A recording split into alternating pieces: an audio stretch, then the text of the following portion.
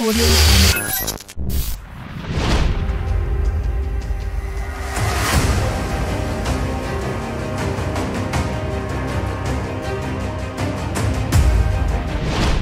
kemenangan yang diraih oleh MU di tur pramusim benar-benar membuat fansnya bahagia. Yap, di bawah komando anyar Erik Ten Hag, Setan Merah sukses tampil superior dengan mencetak 11 gol dan hanya kebobolan 2 gol. Terlebih, tiga penyerang mereka, yaitu Rashford, Martial, dan juga Sancho berhasil tampil moncer. Hal yang kemudian muncul anggapan bila tanpa Ronaldo, MU jauh lebih baik. Sesuatu yang kemudian dipertegas oleh pesan isyarat Bruno Fernandes. Akan tetapi semua itu langsung dibantah dengan tegas oleh Ten Hag. Yang mana pelatih botak galak itu mengatakan bila CR7 masih tetap menjadi figur yang ia butuhkan di dalam skuadnya.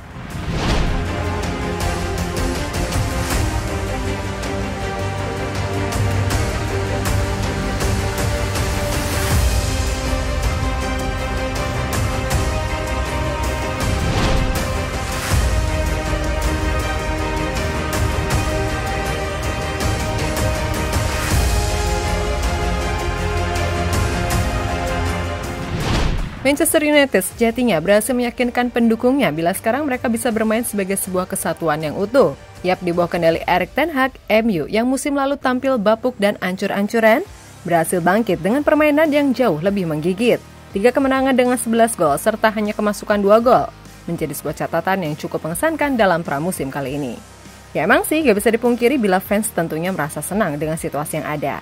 Udah menang besar plus ketiga penyerangnya gacor pula membuat banyak pihak mulai berpikir jika tim ini sudah lebih baik meskipun tanpa Ronaldo. Jadon?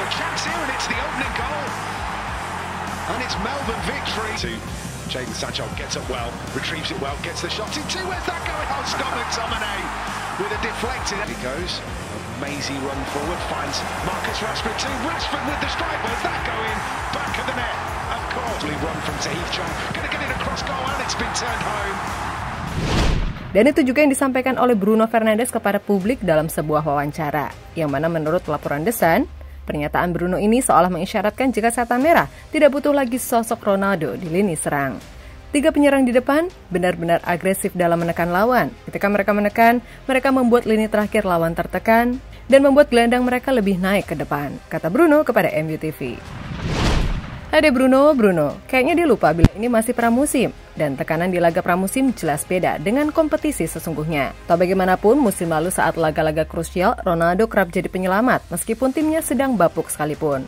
Dan bila soal fisik, tentu kita tahu bila musim lalu, Ronaldo masih sanggup bermain mobile menjemput bola hingga ke lini kedua dan berlari ke sana kemari untuk membantu rekan-rekannya. Eh, ini malah si Bruno seenaknya langsung membandingkan dengan situasi saat ini. Benar, trio yang saat ini ada tampil api, tapi kayaknya terlalu dini ya untuk mengatakan bila MU tidak butuh Ronaldo. Sementara itu, seolah menanggapi komentar Bruno, Erik Ten Hag mengatakan dengan tegas bila ia masih membutuhkan sosok Ronaldo di dalam timnya.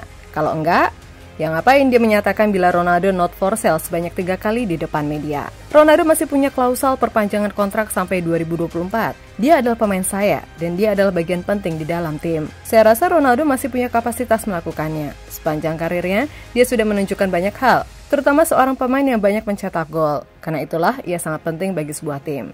Ujar Pak Deten Hag kepada MUTV.